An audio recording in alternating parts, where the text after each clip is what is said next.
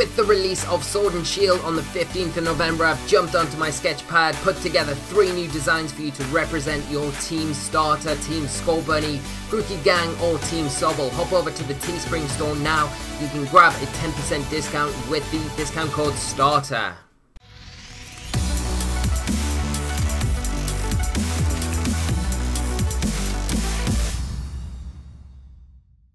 Hi friends and welcome back to another episode of our VGC 2020 Battle Series. My name is Lee, also known as Osirus, and in today's episode we're going to be continuing on with this team that we started at the beginning of this week, which is revolving around Rayquaza and Groudon. Now, you might have seen a little bit of a promo video at the start of this episode, and this is in the run up to Sword and Shield. I've put together three brand new designs to represent those sort of teams that you would like to get behind. Are you Team Scorbunny, Team Sobble, or are you part of that Grookey gang?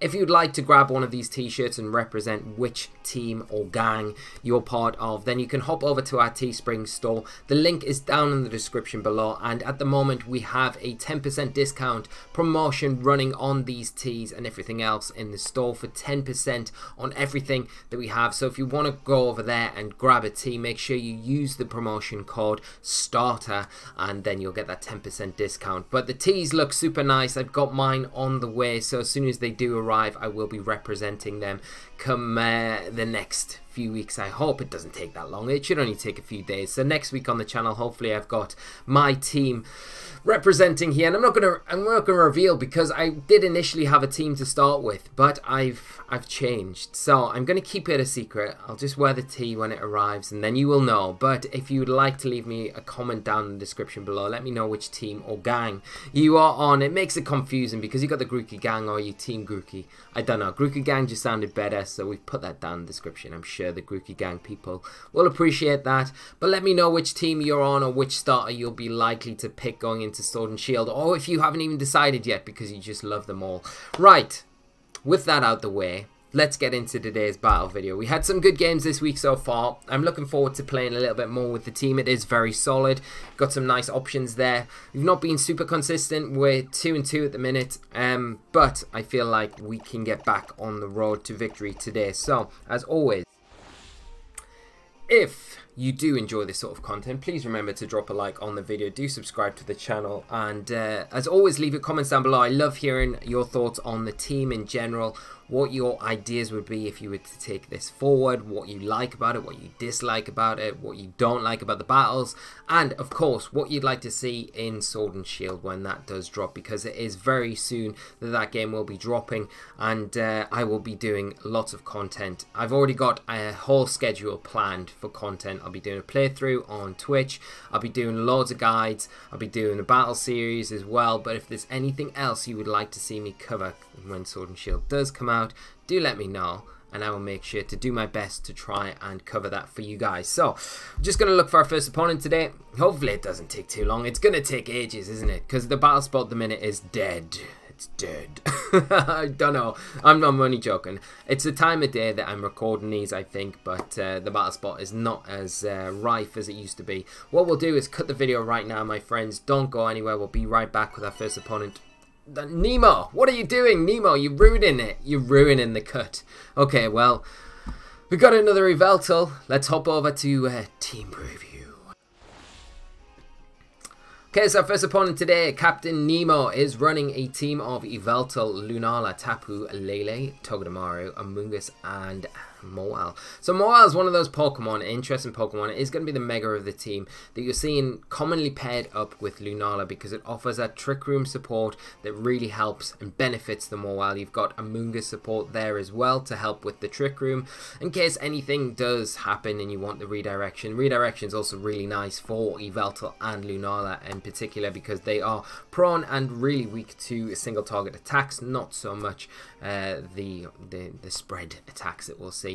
Um, okay, so we're probably going to see a maybe a Trick Room. Well, definitely a Trick Room mod, but maybe a Tailwind mod with that Yveltal as well. Um, okay, I think, I think, I think Koko's good here, especially with the Fairium, because it can it can nab the Yveltal. Um, and doesn't need to worry too much about the Togedemaru. Um, I think what we'll do is bring Koko we'll bring Suicune. Uh, I definitely need Groudon here, and maybe I don't want Ray. Maybe Incineroar is just the better choice, I think. So a bench and Ray for this one. I think it makes more sense for the team. Uh, a couple of Dark types, and I'm including Suicune there because of Snarl. Which doesn't make any sense, but it does kind of make sense because Suicune's just bulky and the Snarl can do a lot of work too. Majority of things on my opponent's team, we need to be a bit careful around the Togedemaru depending on what that's carrying, but other than that, I think we should be alright. It's an interesting call that we're playing now. I've not seen, I don't think, a team revolving around Yveltal and Lunala, so it's, it's a nice build for us to uh, kick off with today and an interesting one. We're going to see uh, Togedemaru and Lunala come out for my opponent. The one issue here, of course, is going to be that we're, we're throwing up the electric terrain and boosting the Togedemaru's ability to attack. Um, now, where do you snarl? Uh, do we snarl or where do they fake out? We could pull a double switch, you know. Um, I'm kind of tempted to pull a double switch. Let's go for Incineroar and let's go for Groudon. Um, the only issue is, where do you target if you're Lunala? I'm hoping it's not into this Suicune slot and I'm, I'm thinking more along the lines of, well, my opponent's got Togedemaru the electric terrain's up, we can do a lot of damage to Suicune with an electric type attack, so we can concentrate more of our efforts with Lunala down on that Tapu Koko, or just go for some speed control, which would be hella better for us, it honestly would. Um, so we'll get Groudon in, and we will get our Incineroar onto the field. The only problem with this team that I don't like, and I don't really like running no bulk Groudon. You know, this Groudon's very fast, very offensive, but it's not got the bulk, and uh, it will go down to big attacks like the Z move from Lunala, so we need to be a little bit careful around that. We're going to see a fake out. It is going to be into uh, Groudon and the Moongeist Beam. Please be into Incineroar. Please. Come on, come on. Yay! Incineroar, you're the best cat. Um, alright, so we can go for Togedemaru with a Flare Blitz. Uh, we could potentially fake it out. Um, we could knock off the Lunala as well. Um, I think this Lunala's slow. That's my only thing, but it's it's a little bit risky going for an eruption, and um, I feel like the Togedemaru is so threatened here. We could potentially just go for a knockoff into the Lunala preserve Groudon, it's so important for us, and then switch it back into Suicune. I really don't want to lose a Groudon early on. So Yveltal coming back in, and that's fine. Especially because we will get our um, a Suicune onto the field. It would have been nice maybe to go for a, um, an eruption there, but at the same time, if we do see a Z move come up from the Lunala, then we know we've made probably the better choice. And it is! Okay. Wow, not the Z move I expected. No! It's the Fightinium Z. What? this is like... This is so like Sun Series. Come on. Right, well, this is going to be Incy gone, I think. Maybe we... I, I, don't know. Can we take it? Not from... Nah, we've taken Chip, so that's, that's that. it's disappointing. It's disappointing. That is disappointing. Hmm. But I mean, we can get Koko back onto the field. We can pressure the Yveltal, and maybe if my opponent decides to switch in the Togedemaru to protect the Yveltal, then we can pick up a, a cheeky knockout there potentially. Um, we'll we'll go for the Z move. We'll just unlock that right now. Um, and I think setting up a Tailwind. Is this the worst time to do this? Because is the Lunala gonna trick room? I don't know. We'll set up a we'll set up a tailwind. We'll go for it. We need to try and get our Groudon in a, in a nice spot when it comes back onto the field. So tailwinding seems like it could do the job. Okay, we're not going to see the Yveltal um, protect or any switches. Um, so we should be able to remove the Yveltal from the field. Unless it is Assault Vest, then it will probably take this. Okay, let's see. Come on.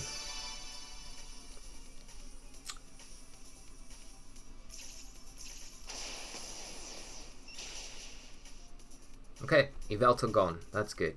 Then we could have snarled here, but I think... Okay, Moongeist Beam, that's fine.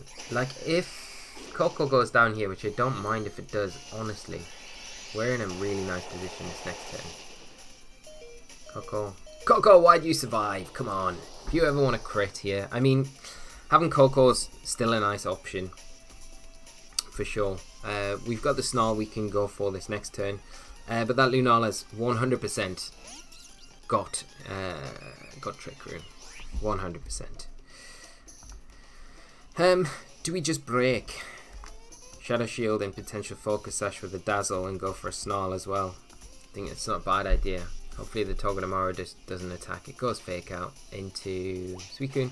Okay, well that's still fine. We'll probably see a Trick Room set up now, I would imagine. Um, Dazzle doing some decent work. And what's this? Eject button. Don't be the blinking Mawile. Don't be the Mawile. It's going to be the Mawile, isn't it? Oh, it's a Tapu Lele. Okay, well, I really don't mind this. That's way better than Mawile. Hmm. Alright. There's a Trick Room. Okay. That doesn't help us too much, really. Um... Alright, what are we going to do? Um, I mean, at this point, other than the Psychic Terrain being active on the field, Koko's kind of redundant.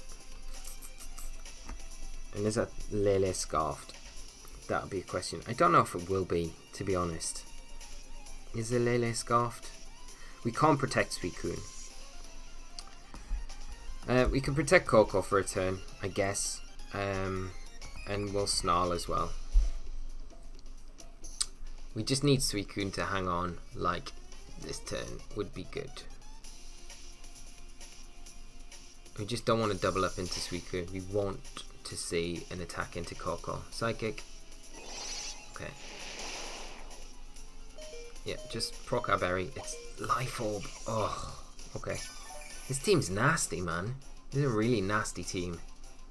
Lunala Psyshock. Doubling into Suicune. Could have got away with this. The Volt Switch. Okay, so Su Suicune's going to go down the next turn. We do get a Snarl, which does help. Um, but it's not really helping our situation right now. Can Groudon win this out by itself? Um, well, we'll try with a Dazzle. And I can't protect Suicune. But a Tailwind does end the next turn. So we can we can try a Snarl. That's not looking too good. Dazzling Gleam coming out. Okay. Hmm. At least Tailwind ends now, which is good. Uh, and if that is a fast Lele, which you would imagine it will be with the Life Orb, then Groudon will be the slowest thing on the field, so we can launch an Eruption, which should be enough to take down both targets. The only issue would be here is if we see a Wide Guard from the Lunala. But if we don't, and we can nab both a K like a KO on both Pokemon now, we'll click the Eruption button and see. Then Togedemaru is easy for us to deal with. Come on Groudon, let's play this Trick Room like you've never played a Trick Room ever before. It has to be timid Lele though, I think. Yeah. No! we're so screwed, Wisco. This is the worst. Gonna have the most powerful eruption now, and uh, yeah, the Lunala. Okay, we're kind of banking at that point. Like we knew early on how risky the the, the tailwind would be, especially with the Lunala and not having a way to properly deal with it.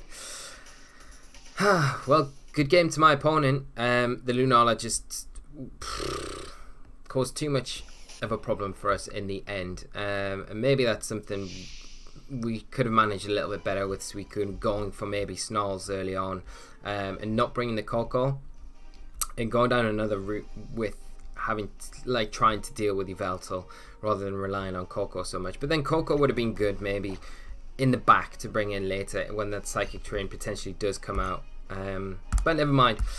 Not the best of starts for us today, but we will continue on. We'll lock in with some more Mulesock and uh, we will try and redeem ourselves in this next one. Um, And now my opponent's played that team. We're like, we've played that Yveltal and Lunala core. I'm like, hmm, could we actually try that out ourselves and make that work? Like, I love Yveltal, and I do like Lunala.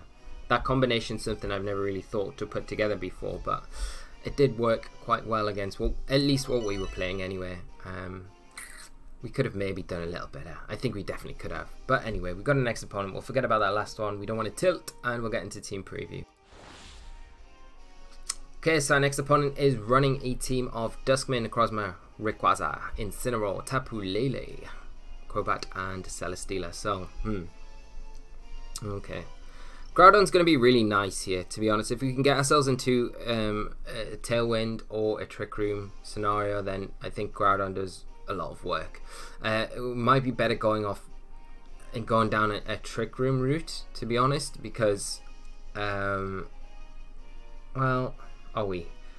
My opponent doesn't really have. Well, they do. They've got speed control with the Crobat. That's the the big problem there, isn't it? Um, we need a way to get rid of the Crobat early on. So we could potentially, I think Koko is very good here because Ultra Necrozma and Rayquaza, the Fairium deals with those super well. It deals with Crobat, Celesteela really well. Um, so my opponent's going to be like hard pushed. Like Koko puts on a lot of pressure on my opponent's side of the field. I think Incineroar as well because of the Intimidate support, the extra fire typing. I definitely want Groudon in this match for sure. And um, what's our last one going to be? Do we want Suicune to match Tailwinds or do we want uh, Stakataka?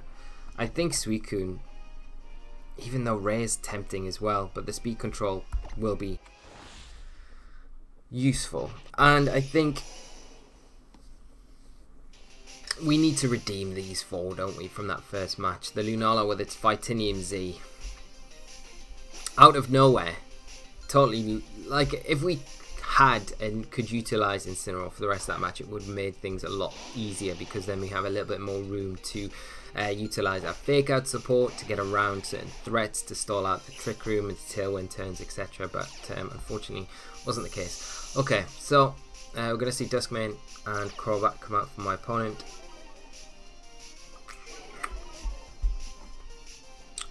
Now, do we just Volt Switch out on the Crobat? We could Volt Switch and fake it out. Do Crobats ever carry Protect? I really don't think so. I'm going to fake it out, just to break a potential Sash, even though we're not going to be able to stop it attacking. Um, Crobats generally have Sash, so uh, we are going to see the Necrozma actually go for that Ultra Burst very early on in this match. If the Crobats got Protect, then we're totally screwed. We went all in there. Necrozma are going to protect. That's fine. They're going to try and get a, a, a tailwind up. Um, we'll fake out. Obviously, you're not able to flinch it, but this is the thing. Like, if it's sashed and we win the speed tie, which we have, we can take it down. We can get rid of that threat, which is pretty huge for us. Um, okay, so we can now bring in uh, Suicune, I think, is the better option because maybe Ray's likely to come out onto the field and uh, my opponents lost their speed control so we can potentially utilize our speed control and close this one out. It's not going to be straightforward at all but uh, if we can get a tailwind up it makes things and makes our life a lot easier. Okay, we do need to worry about a potential Z move from the Ultra Necrozma and a Lele switch in. Um,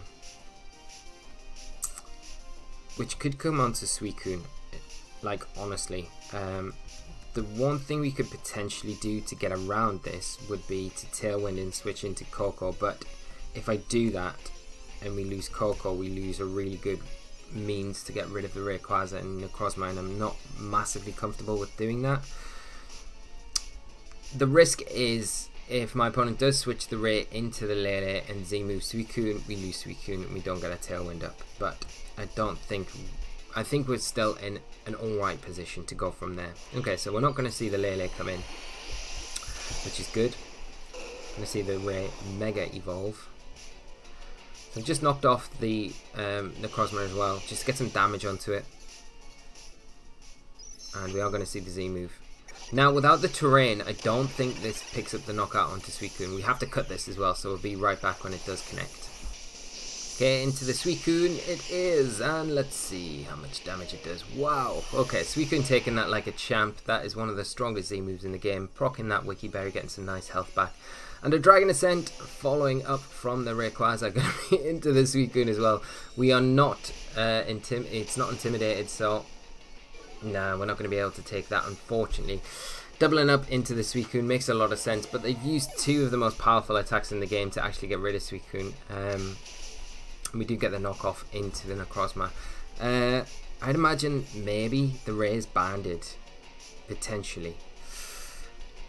That would be my best guess, I would say. Um, so we'll bring in Koko once again.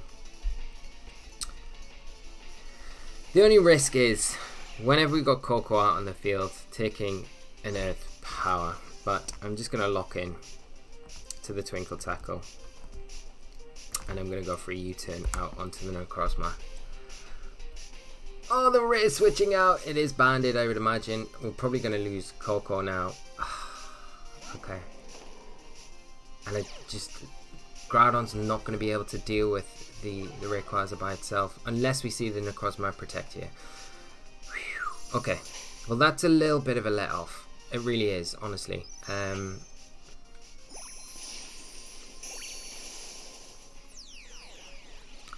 We'll get the Z move, it's not going to be as effective, it's going to be into the Incineroar, um, not do as much damage as we, wanted, but I think the switch there indicates that the Ray is definitely banded, 100%. Um, the switch to Incineroar is nice for my opponent because it gives them the fake out support the next turn to uh, fake out the, the Tapu Koko.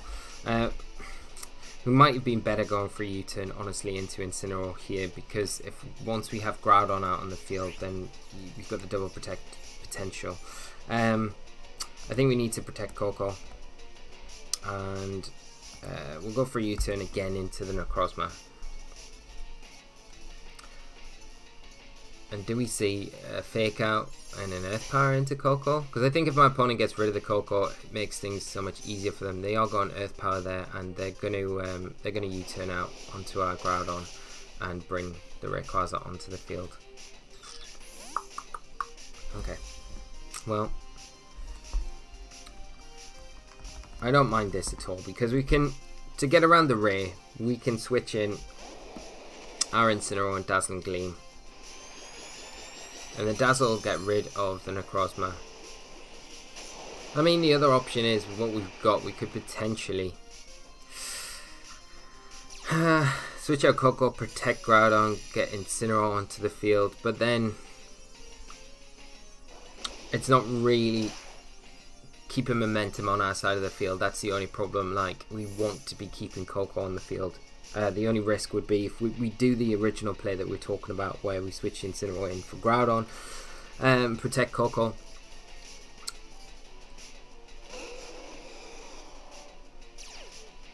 Then uh, there's always the chance that the Necrozma might protect the Rayquaza might have something like Earthquake that it locks into and gets rid of Koko. Um, okay. I think we dazzle, and if it's banded, it's gonna have probably it's probably gonna have earthquake. Does my opponent have anything to earthquake? It's got the Celesteela and the Crobat. It's definitely got earthquake. 100% got earthquake. Um, we want to make this difficult for my opponent. I think, like if we, I need to preserve Koko. I'm gonna switch in Incineroar. I'm gonna make that play and I'm going to scout out what this Rayquaza is going to do. I'd imagine the Necrozma will protect this turn.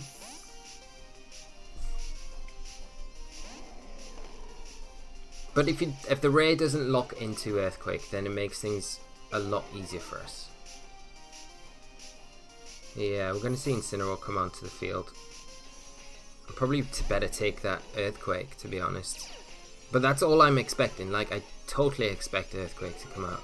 We might see waterfall or something like that. I don't know, but we will find out soon. We protect that Groudon, and it is Earthquake, unfortunately. If it takes down its own Incineroar, that would be amazing.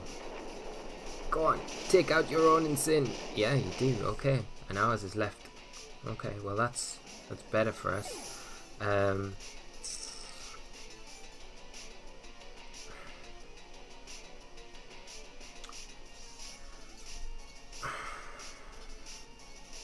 only problem is, how do we beat?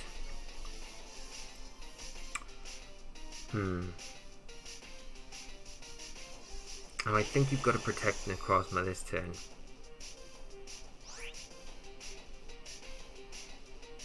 Hmm. Because we need, we just need to get damage onto the ray. But I feel like if my opponent's smart, they'll know if we fake out the ray, then Necrozma can get an attack off potentially into the Groudon. Um, but I'm going to have to try and go for Eruption. I need to get damage onto the race, so yeah, we're going to see that. Okay. Well, this plays off. So we just need to get damage onto the Rayquaza, so it's more likely Dazzling Gleam will be able to pick up a knockout, because we know that the Necrozma is definitely in Dazzling Gleam range from the Koko.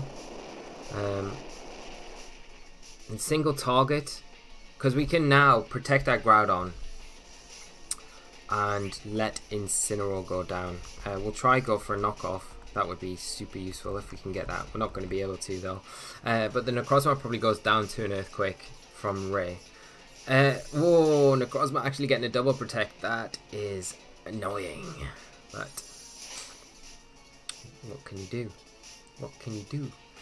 Uh, an Earthquake. I mean, Groudon probably takes... Um,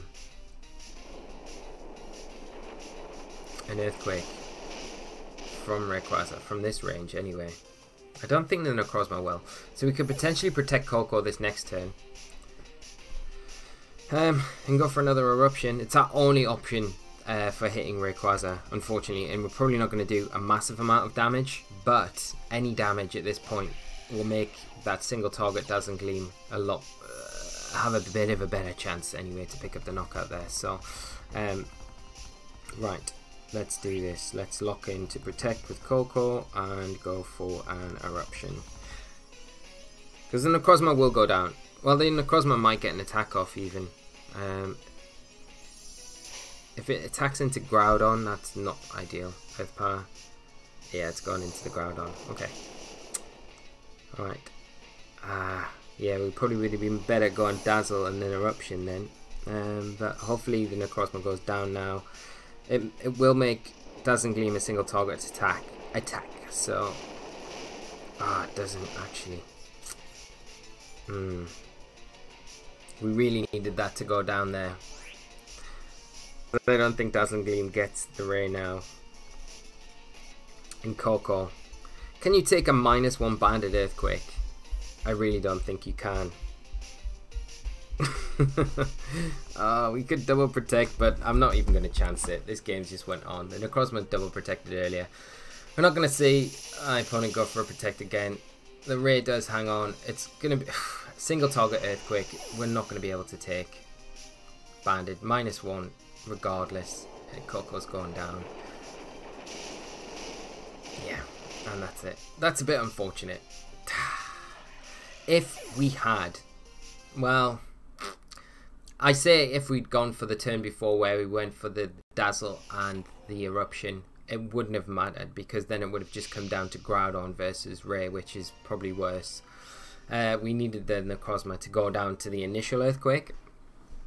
Um, Oh, two losses today, not great, but two good teams we played against, two awkward teams, um, and we'll wrap things up there, my friends. Thank you so much, as always, for tuning in. I hope at least it's been entertaining. Uh, we're learning a lot about the team as well, so some nice things to take on board for Thursday, Friday, and uh, we can discuss changes that we'd make on Friday before we finish up with the team then. So we'll be back with more episodes, games tomorrow. Uh, have a great day morning, afternoon, night, whatever time of day it is, wherever you are watching this. And uh, I will see you all again for another one very soon. So until then, take care and bye bye.